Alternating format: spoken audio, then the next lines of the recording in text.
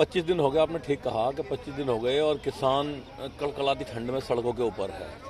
किसान को होना चाहिए था खेत में, लेकिन किसान पड़ा है सड़क के ऊपर। हल तो सरकार के हाथ में है। किसान का कहना है कि जो है, ये अध्यादेश वापस हो। सरकार का कहना है कि संशोधन हो। तो हल तो ये निकलेगा कि बैठ के बीच की वार्ता हो, जैसे सात दौर चले हैं वार्ता के तो उसमें कुछ हल निकला है? बारह लोग जो है बारह लोग जो है बारह वो इसमें संशोधन हुए हैं। तो हमारा तो ये कहना है कि ये बिल जो है वापस हो वापस हो आज का क्या कार्यक्रम है? आज का कार्यक्रम है कि आज जो शहीदी दिवस मनेगा हमारा जो लोग इसमें शहीद हुए आंदोलन में तो आज उनके लिए शहीदी दिवस का कार्यक्रम तय किया जाएगा। ठीक है। एक बार अपना नाम बोल देना थोड़ा माफ़ कीजिए पूरा नाम मांगे नाम बोल देना। मेरा नाम मांगेराम त्यागी है और मैं जो है चीफ सेक्रेटरी हूँ एनसीआर का। भारतीय किसान भारतीय किसान यूनियन। नाम गुरलाल सिंह जी जी आज शहीदी दिवस मना रहे हैं भाई जो जिन्होंने की जान गई है ठीक है। थोड़ा बताएँ कैसे?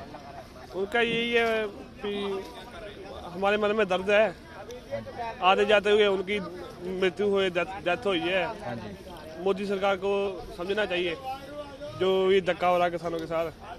अब मैंने इंटरव्यू देखा है मोदी का वो कह रहा है वे सुनेंगे बात सुनेंगे। हाँ हाँ किसानों के आंदोलन में है हमारे आप उनके साथ हैं। और गुरु तेग बहादुर जी का भी है आज वो भी मनाएँगे। उनको भी प्रणाम है। ठीक है? यही बात है। ठीक है किसान भाई आप बोलना चाहेंगे? आज जो दिन गगनदीप सिंह मेरा नाम गगनदीप सिंह। रणदीप आज जो हमारे किसान भाइयों की जान गई है इस पूरे आंदोलन में उनको किस तरह से आप लोग याद करने वाले हैं आज? भाई वो तो कभी याद नहीं भूलेंगे क्योंकि उन्होंने हमारा साथ दिया शुरू से लगे थे साथ में जो चले गए उसे भूलते नहीं सकते। एक साहब के शहीदी कह सकते हैं उसकी धरने के बीच में। क्या उसे कोई नहीं भूलेगा? जिस माँ का अकेला अकेला बेटा चला गया वैसे कैसे भूलेगी बताओ ना आप। हमेशा याद रखेंगे उन्हें। आत्म शांति के लिए मतलब क्या? भाई अभी ये आंदोलन चल रहा है इसके बाद फिर उसके साथ सारा करेंगे वो करेंगे आत्मशामी वो करते हैं जो करते हैं सब डोनेशन देंगे सब रल के कुछ करना कुछ उनके लिए करेंगे ना फिर टाइम आने पर ना अभी तो यही नहीं फिनिश हो रहा। हाँ हाँ। क्या लगता है कैसे इसका समाधान निकले? समाधान इसका यही है कि बिल खारिज कर दिए जाए। अगर ख़त्म कर देंगे हम तो दो घंटे में चले जाएँगे इसी टाइम ठीक है। लास्ट है. सिंह एक मिनट। उत्तराखंड।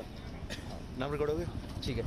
जो किसान भाई शहीद हुए हैं कैसे याद कर रहे हैं? उनकी आत्म शांति के लिए कैसे धार्मिक तौर पर आप उनको याद कर रहे हैं? हम ये जो काले तीन कानून कृषि के खिलाफ इन्होंने हमारी भारत सरकार ने हमारे ऊपर थोपे हैं। बिना पूछे बिना बताए और उसके खिलाफ हमारा यह धरना प्रदर्शन जो चल रहा है, जिसमें हमारे बच्चे भी, हमारे बुज़ुर्ग भी और शहीद हुए हैं पच्चीस तीस आदमी शहीद हो गए हैं। उनकी कुर्बानी व्यर्थ नहीं जाएगी। सरकार ये मत समझे कि वो किसान ऐसे बैठे पड़े हैं। हम उनकी श्रद्धांजलि उनको दी है और भी देंगे। आज गुरु तेग बहादुर जी का जन्म वो शहीदी दिवस है। उन्होंने भी आज के दिन यहाँ पर शहादत दी थी आगे, हिंदू धर्म के लिए। और हम भी ये मतलब हिंदू धर्म ही है, हमारा पूरा भारतवर्ष किसान सब एक ही है, किसी भी धर्म का हो, किसान सब एक है। उसके लिए हम यहाँ पर धरने पर डटे पड़े हैं। जब तक ये कानून वापस नहीं लेगा, आप चाहे यहाँ साल लग जाए, दो साल लग जाए छः महीने लग जाए, एक महीना लग जाए, हम डटे हुए हैं।